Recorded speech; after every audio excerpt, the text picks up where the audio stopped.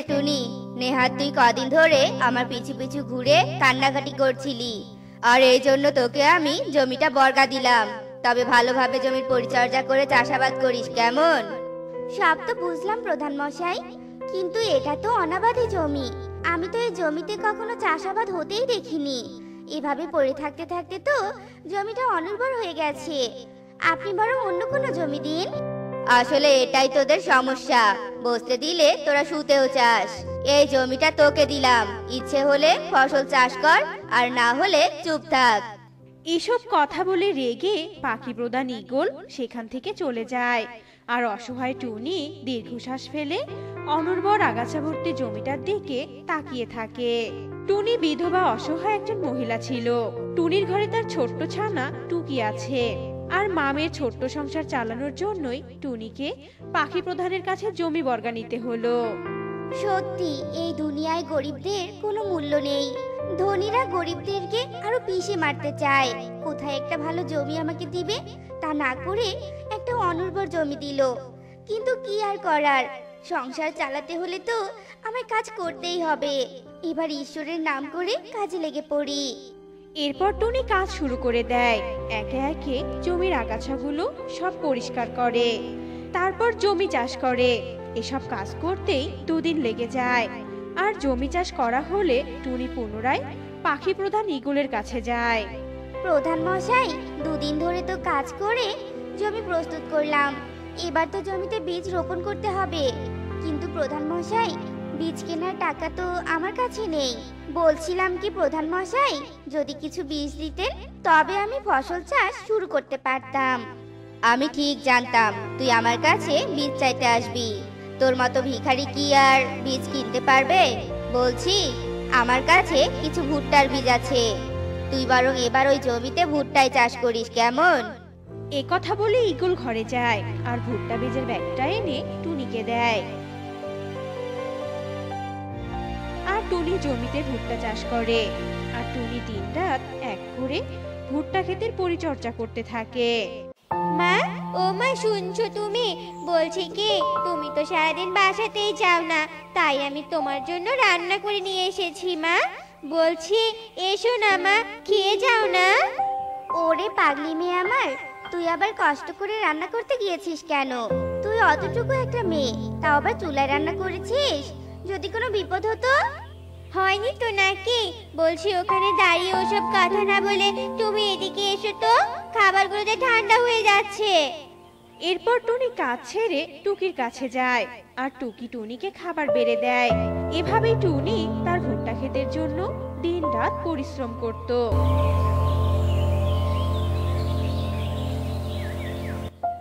দেখতে দেখতে টুনির জমিতে ভুট্টা গাছ হয়, আর সেসব গাছে ভুট্টাও ধরে। কিন্তু অদ্ভুতভাবেই তিনটা ভুট্টা গাছে, হীরের ভুট্টা, সোনার ভুট্টা আর রূপার ভুট্টা ধরে। কি আজব ব্যাপার! সাধারণ ভুট্টা গাছে হিরে, সোনা, রূপার ভুট্টা? ঈশ্বর কি তবে আমার দিকে চোখ তুলে তাকিয়েছে? আর বুঝি আমার কোনো অভাব অনটন থাকবে না। ওই পাখি প্রধান আমাকে অনুর্বর জমি দিয়েছিল না?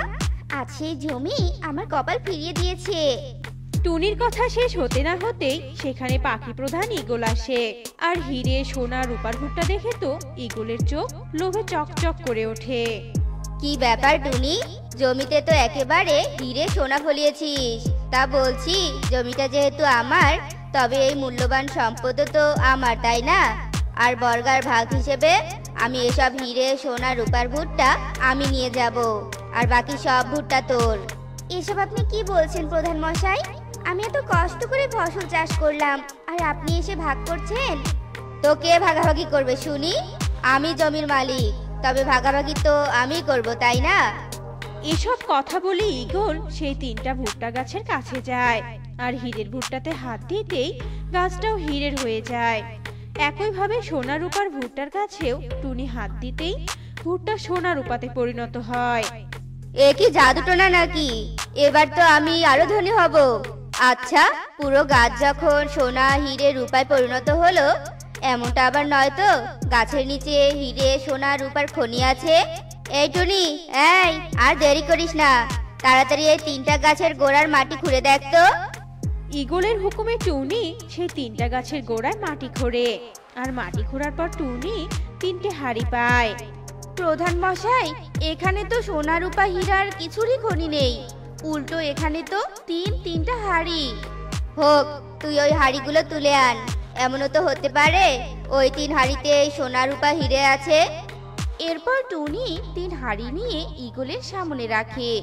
আর তিন হাড়ি থেকে হীরা, সোনা, রূপার বদলে হীরা পরি, সোনা পরি আর রূপার পরিকন্যা বেরিয়ে আসে। তোমরা আমাদের বড্ড উপকার করলে।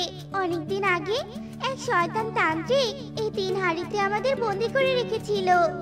কারণ আমরা তিন কন্যা, আমাদের তিন শক্তি ওই তান্ত্রিককে দেয়নি বলে। এ কি, ভুট্টা খেতে তিন শক্তি তিন কন্যা?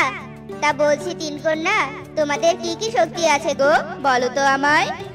আমি চাইলে যখন তখন মুখ থেকে হিরে ঝরাতে পারি, আর সোনা পরি সোনা ঝরাতে পারি, আর রূপা পরি রূপা ঝরাতে পারি। আর এই তিন শক্তি ওই শয়তান তান্ত্রিক চেয়েছিল। কারণ ওর যে ধনী হওয়ার খুব শখ ছিল। ইয়ে মানে পরিকন্যা, সে তো আমারও খুব শখ ধনী হওয়ার।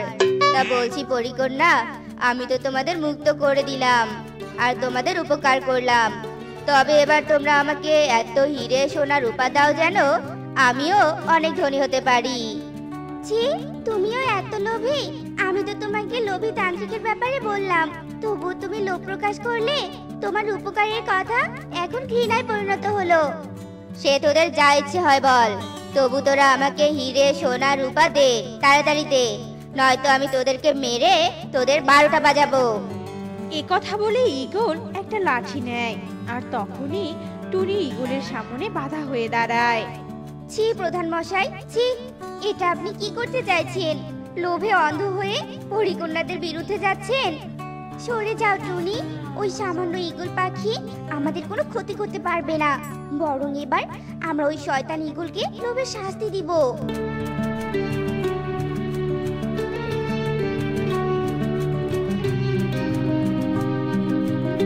ভয় পেও না, টুনি।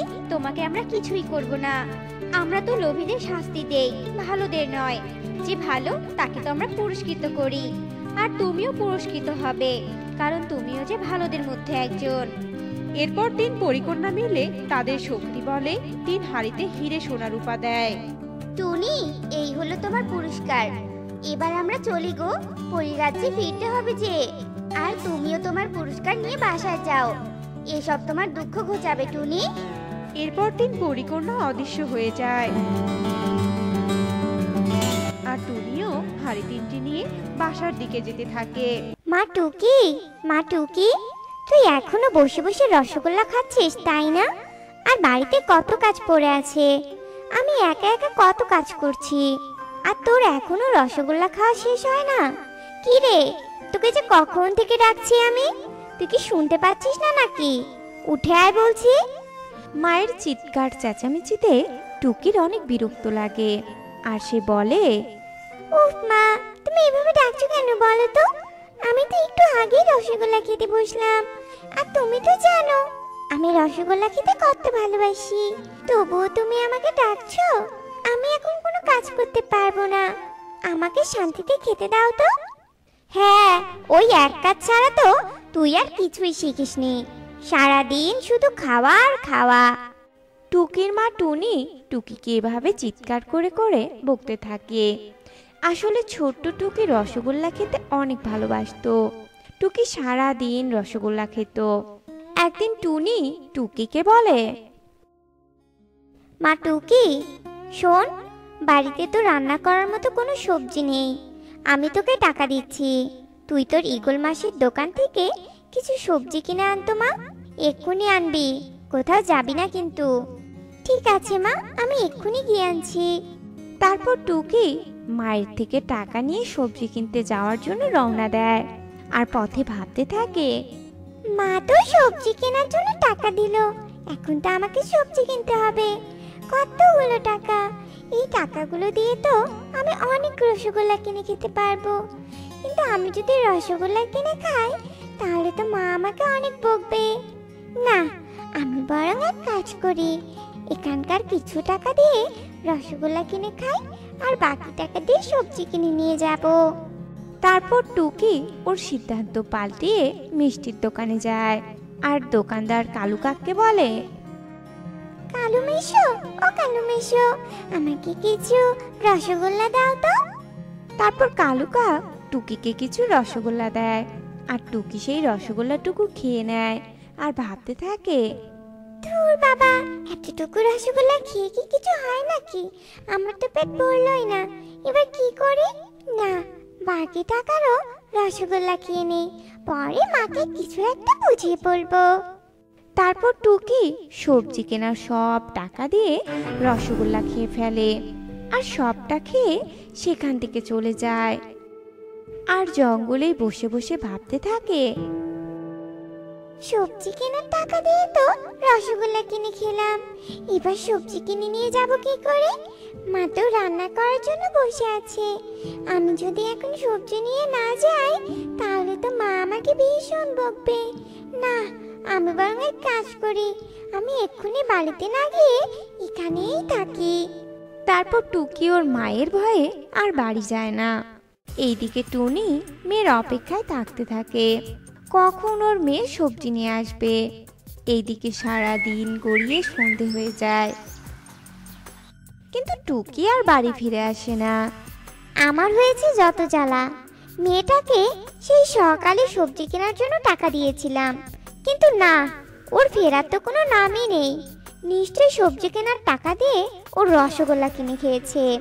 আজ বাড়িতে আসুক। ওকে উচিত শিক্ষা দিব। টুনি যখন এসব কথা বলছিল তখন সেখানে টুকি চলে আসে। এই যে দাঁড়া কোথায় ছিলি তুই? তোকে যে সবজি কিনতে দিয়েছিলাম সেই সবজি কোথায় হ্যাঁ? নিশ্চয়ই সবজির টাকা দিয়ে রসগোল্লা খেয়েছিস তাই না? আমার খুব রসগোল্লা খেতে ইচ্ছে করছিল মা। তাই আর লোভ সামলাতে না পেরে খেয়েছি। তুমি আমাকে আর বকো না মা। হ্যাঁ তুই অন্যায় করবি? আর তোকে আমি ক্ষমা করে দিব, তাই না? ঘরে কোনো বাজার নেই, তাই আজ রান্না আর করছি না আমি। আজ রাতটা না খেয়েই থাক তুই। দেখ কেমন লাগে। এ কথা বলে টুনি সেখান থেকে রাগ দেখিয়ে চলে যায়। আর সারা রাত ওরা মামে না খেয়েই কাটিয়ে দেয়। টুকি রসগোল্লা পাগল ছিল। তাই টুনি এত বকাঝকা করার পরেও টুকি রসগোল্লা খাওয়া বাদ দিত না। টুকি সব সময় ওর মায়ের থেকে টাকা নিয়ে রসগোল্লা খেত। কিন্তু সেই দিনের পর থেকে টুনি রাগ করে টুকিকে আর টাকা দিত না। তাই ছোট্ট টুকি সব সময় রসগোল্লা খেতে চাইতো। কিন্তু রসগোল্লা খেতে পারতো না। একদিন টুকি কালু কাকের রসগোল্লার দোকানের পাশ দিয়ে যাচ্ছিল। আহ, কতগুলো রসগোল্লা। দেখেই তো খেতে ইচ্ছে করছে। কিন্তু আমার কাছে তো কোনো টাকা নেই। এই সব কিছু ভাবতে ভাবতে টুকি আর না ভেবে রসগোল্লা চুরি করে খেতে যায়। আর ঠিক তখনই কালু কাক সব দেখে ফেলে আর অনেক রেগে যায়। আর রেগে টুনির কাছে বিচার নিয়ে আসে। টুনি, তোমার মেয়েকে কি তুমি কোনো শাসন করবে না নাকি? এত রসগোল্লা খায় কেন বলো তো? আজ তো আমার দোকানে রসগোল্লা চুরি করে খাচ্ছিল। তোমার মেয়েকে তো রসগোল্লার গাছ দিলেও ওর মনে হয় মন ভরবে না। শোনো টুনি তোমার মেয়ে যদি আর কোনোদিন আমার দোকানে রসগোল্লা চুরি করতে যায় তাহলে কিন্তু আমি ওকে ভীষণ শাস্তি দিব। এই বলে দিলাম কথাটা মনে রেখো। এই সব বলে কালু কাক সেখান থেকে চলে যায় আর টুনি মেয়ের প্রতি অনেক রেগে থাকে। এরপর টুকি বাড়ি ফিরতেই টুনি বলে কিরে টুকি শেষ পর্যন্ত তুই চুরি করা শুরু করেছিস হ্যাঁ?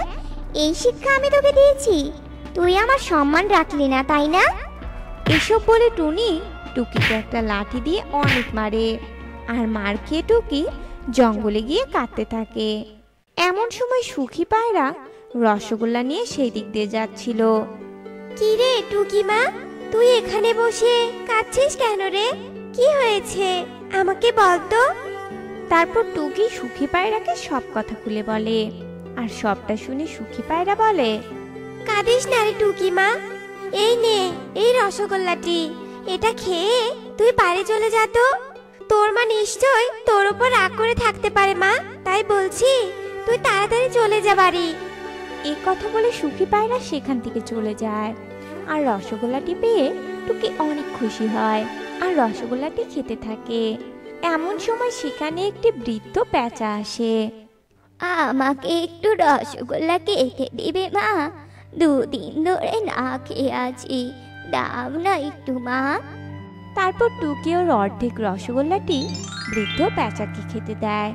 আর বৃদ্ধ প্যাঁচা রসগোল্লাটি পেয়ে অনেক খুশি হয়। এই নাও মা আমি রসগোল্লা খাব না। আমি আসলে এতক্ষণ তোমাকে পরীক্ষা করছিলাম। আমি জানি তুমি রসগোল্লা খেতে অনেক ভালোবাসো।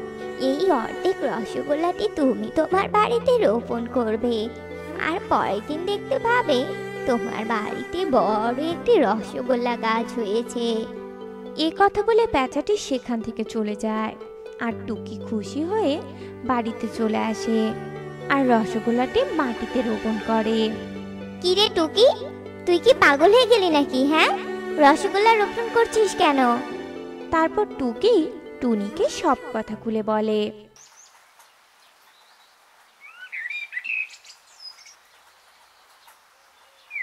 আর পরের দিন টুকি আর টুনি অনেক অবাক হয়ে যায়, কারণ সত্যি সত্যি সেখানে একটা বড় রসগোল্লা গাছ জন্মেছিল, আর সেখানে অনেক রসগোল্লা ধরা ছিল। দেখেছ মা? কতগুলো রসগোল্লা। এবার আমি এখানকার সব রসগোল্লা খাব মা, আর তোমাকে অত্যাচার করব না। টুকি রসগোল্লা গাছ দেখে অনেক খুশি ছিল। আর এরপর থেকে সেখানকার সে রসগোল্লা খেত। আর সেই গাছের রসগোল্লা বিক্রি করে তাদের সংসার চলতো। এক জঙ্গলে মিনু টুনটুনি, তার ছেলে টোনা আর বৌমা টুনিকে নিয়ে থাকতো। টুনি খুবই বোকা ছিল। তাই মিনু টুনটুনি টুনিকে তেমন পছন্দ করতো না। কিন্তু মিনু টুনটুনি এটা কখনোই টোনাকে বুঝতে দিত না। বৌমা ও বৌমা কোথায় গেলে তুমি? বলি কত বেলা হয়েছে দেখেছ? রান্না আর কখন করবে হ্যাঁ? আমার তো অনেক খিদে পেয়েছে নাকি? ও মা এই তো আমি। আপনি কোনো চিন্তা করবেন না মা আমি এক্ষুনি রান্না শুরু করছি। হ্যাঁ হ্যাঁ তাই করো। এক্ষুনি উনুনে হাড়ি চাপাও বলছি। আমার খিদেও পেয়েছে। আর আমার ছেলেটাও তো খেয়ে আবার কাজে যাবে। তাড়াতাড়ি রান্না শেষ করো তুমি। এইসব কথা বলে মিনু টুনটুনি সেখান থেকে চলে যায়। আর বেশ কিছুক্ষণ পর মিনু টুনটুনি আবারও টুনির কাছে যায়। বৌমা, ও বৌমা, তোমার রান্না হলো গো? এখনও উনুনে হাড়ি চাপানোই আছে দেখছি। তা খাবার কি এখনও সেদ্ধ হয়নি নাকি বলো তো? মা আপনি আমাকে উনুনে হাঁড়ি চাপাতে বলছেন? আমি তো উনুনে হাঁড়ি চাপিয়ে বসে আছি। খাবার সেদ্ধ হয়েছে কিনা, সেটা আমি কি করে বলব, মা?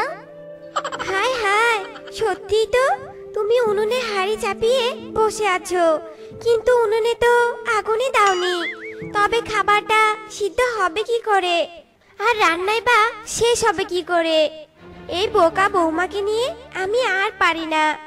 কেন যে ঈশ্বর আমার কপালে এমন একটা বৌমা দিয়েছিলেন? যাও তো দূর হও রান্নাঘর থেকে। তোমাকে আর রান্না করতে হবে না। এসব কথা বলে মিনু টুনটুনি টুনিকে রান্নাঘর থেকে তাড়িয়ে দিয়ে নিজেই রান্না করে। টুনি সব সময় নিজের বোকামির জন্য এইভাবে মিনু টুনটুনির কাছে বকা খেত। কি গো গিন্নি? অমন মুখ ভার করে বসে আছো কেন? আবার মায়ের কাছে বকা খেয়েছো নাকি? যাকগে আর মুখ ভার করে বসে থাকতে হবে না। চলো এবার খেয়ে নেই। এরপর টোনা টুনিকে নিয়ে ঘরে যায় আর খাবার খায়। খাওয়া শেষ হতেই মিনু টুনটুনি টোনাকে বলে শোন বাবা তোর বউয়ের এমন বোকামি আমি আর দেখতে পাচ্ছি না রে। তাই আমি ঠিক করেছি টুনিকে আর ঘরের কাজ করতে হবে না। টুনিও এখন থেকে তোর সাথে মাঠে যাবে। তুই বরং ওকে মাঠের কাজে শেখাবি বাবা। মিনু টুনটুনের কথা মতো টোনা টুনিকে মাঠে নিয়ে যেতে শুরু করে। আর টোনা টুনিকে মাঠের কাজ আর ফসল চাষ করানো শেখায়।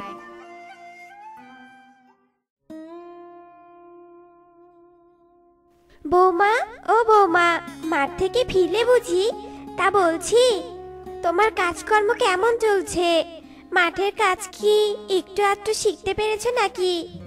না মা বোকামি করতে যাব কেন? আমি তো মাঠের অনেক কাজই শিখেছি। জমি কুপিয়ে নরম করে বীজ বুনতেও শিখে গেছি। আমি আর আগের মতো বোকা নেই মা। তাই নাকি বৌমা? তবে তো তুমি অনেক কিছুই শিখে গেছো। তা বলছি বৌমা কোন সবজি চাষের জন্য কি বীজ বুনতে হয়? ও এই কথা মা এটা তো আমি জানি। যেমন লাউ চাষের জন্য লাউ বীজ আর কুমড়ো চাষের জন্য কুমড়ো বীজ আর বেগুন চাষের জন্য বেগুন বীজ বুনতে হয়। ও মা সত্যিই তো বৌমা এ কদিনে তুমি তো দেখছি অনেক কিছু শিখে ফেলেছো। তা বৌমা বলো তো দেখি মাছ চাষের জন্য কি বুনতে হয়? ইয়ে মানে মাছের তো কোনো বীজ হয় না মা। তবে মাছ চাষের জন্য কি বুনতে হয়? কি বুনতে হয় বলুন না? পেয়েছি। মাছের কাঁটা বুনতে হয়, মা। তাই নাকি? তবে বৌমা, এবার তো দেখছি মাছ চাষ করতেই হচ্ছে। তা বাবা, তুই তোর বউকে ভালোই তো চাষবাস শিখিয়েছিস। শোন, কাল থেকে তোর মাঠে যাওয়া বন্ধ। কাল থেকে বৌমা একাই মাঠে যাবে আর মাছ চাষ করবে। আর তুমি ভেবো না বৌমা, মাছ চাষের জন্য আমি তোমাকে কাল অনেকগুলো মাছের কাটা এনে দিব, কেমন? যেমন কথা তেমন কাজ। পরের দিন সকাল হতেই মিনু টুনটুনি টুনিকে অনেকগুলো মাছের কাঁটা দেয় আর সেসব কাঁটা নিয়ে বোকাটুনি মাঠেও যায় আর জমিতে সবজি বীজের মতোই কাঁটাগুলো রোপণ করে। এরপর বেশ কয়েকদিন কেটে যায়। কি ব্যাপার বৌমা? তোমার মাছের খেতে কি মাছের গাছ হলো? সেই করেই তো তুমি জমিতে মাছের কাটা বুনেছো। না মা এখনও কোনো গাছ হয়নি। কাটা থেকে যে কীভাবে গাছ হবে সেটাই ভাবছি মা। ভাবনা চিন্তা বাদ দাও বৌমা আমি সোজা কথা বলছি তোমাকে। এবার যদি তুমি মাছ চাষ করতে না পারো তবে তুমি কিন্তু এবারে ছেড়ে চলে যাবে। যাকগে এবার মাঠে যাও তুমি। মিনু টুনটুনির এসব কথা শুনে টুনি গম্ভীর মুখে সেখান থেকে চলে যায়। আর মিনু টুনটুনি মনে মনে ভাবে, যাক, বোকা বৌমাকে তাড়ানোর একটা উপায় বোধহয় এবার পেয়ে গেছি। যে করে হোক, এবার এই মাছ চাষের অজুহাতে এই বউকে আমি তাড়িয়েই ছাড়বো। এসব ভেবে মিনু মনে মনে ভীষণ খুশি হয়। আর এইদিকে টুনি জমিতে গিয়ে মাছের গাছ দেখতে না পেয়ে বেশ চিন্তায় পড়ে যায়। আর জমির পাশে বসে কাঁদতে থাকে। আর তখনই সেখানে এক জাদুকর পেঁচা আসে। এ কি? কি হয়েছে তোর? তুই এভাবে কাছিস কেন? কিসের এত দুঃখ তোর বল আমাকে? এরপর টুনি তার মাছ চাষের ব্যাপারে সব কথা খুলে বলে। আর এসব কথা শুনে জাদুকর পেঁচা জাদু করে জমিতে মাছের গাছ ফলায়। আর সেই গাছে অনেক মাছও ধরে। আর কাঁদিস না এই যে তোর জমিতে মাছের চাষ হয়েছে কিন্তু আমি যে তোর জমিতে মাছের চাষ করে দিয়েছি সেটা কাউকে বলবি না কেমন? এ কথা বলে পেঁচা সেখান থেকে চলে যায় আর টুনিও খুশি মনে তার বাড়ি ফিরে যায়। মা মা শুনছেন? জমিতে মাছের চাষ হয়েছে মা? অনেক মাছ ধরেছে আমার মাছ গেছে।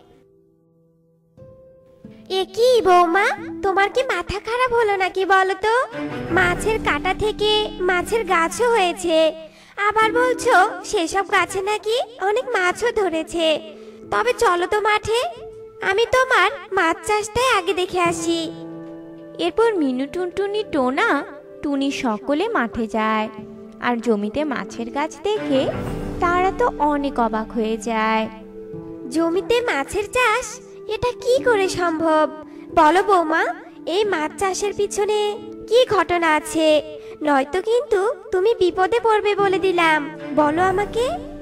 মিনু টুনটুনের এমন কথা শেষ হতেই জাদুকর পেঁচা সেখানে আসে আর বলে কি গো মিনু টুনটুনি? বেশ অবাক হয়েছিস মনে হয় তাই না? তুই মাছ চাষের বাহানায় এমন একটা সহজ সরল মেয়েকে বাড়ি থেকে তাড়ানোর পরিকল্পনা করবি। সেটা আমি কি করে হতে দেই বল? তাই আমি জাদু করে এসব কিছু ঘটিয়েছি। এই সব কিছুই মায়া, কোনো কিছুই সত্যি নয়। মা, তুমি টুনিকে তাড়ানোর জন্য এমন পরিকল্পনা করেছিলে? আর এই জন্যই তুমি আমাকে মাঠে আসতে দাওনি। তবে এ সব কিছু তোমার পরিকল্পনা ছিল? আমার ভুল হয়ে গেছে বাবা। তোরা আমাকে ক্ষমা করে দে।